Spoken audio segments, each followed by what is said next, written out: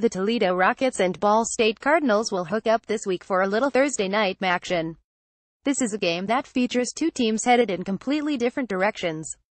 The Cardinals have dropped four straight and are tied for last in the MAC's West Division, while Toledo is playing like a team that could win the conference title and possibly land the Group of 5's New Year's Six bowl bid. Toledo at Ball State kickoff Thursday, October 26 at 7 p.m. ETTV channel ESPN 3 spread Toledo 26 3 things to watch 1. Can Ball State get pressure on Logan Woodside? Woodside is one of the best pure passers in college football. He is the engine that drives the explosive machine that is the Toledo offense, which averages more than 500 yards and 38 points per game. Those numbers are good enough to rank among the top 20 in the FBS in both categories. Woodside operates with deadly efficiency in the pocket when given time. Ball State head coach Mike Neu must figure out a way to constantly pressure Woodside if the Cardinals are going to have any shot at winning this one. 2. Cardinals must figure out how to score through the air. Ball State HASNT scored with its passing game in over a month. That's obviously not good, and it's worse when you take into consideration the offense on the opposite sideline. Something needs to happen through the air early for the Cardinals, and that might mean forcing the ball to their best receiver, freshman Justin Hall, and hoping he can make a big play.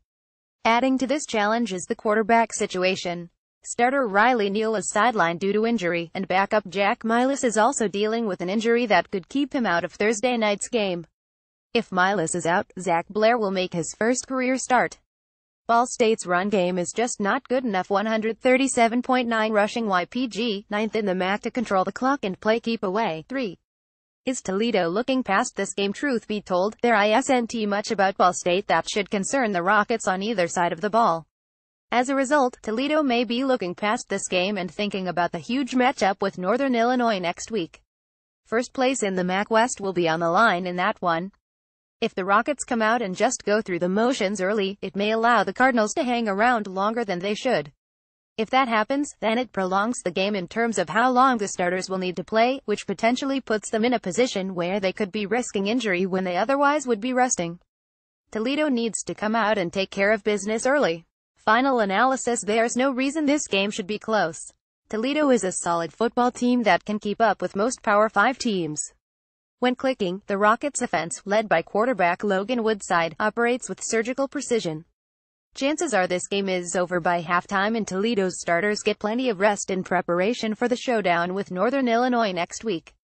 Prediction Toledo 48, Ball State 6, written by J.P. Scott, who is part of the Athlon Contributor Network. He also covers the Big Ten for Blackheart Gold Pants, Iowa's SB Nation blog. His work has appeared on C.com, FoxSports.com, Yahoo and Bleacher Report. Follow him on Twitter at ThapScott.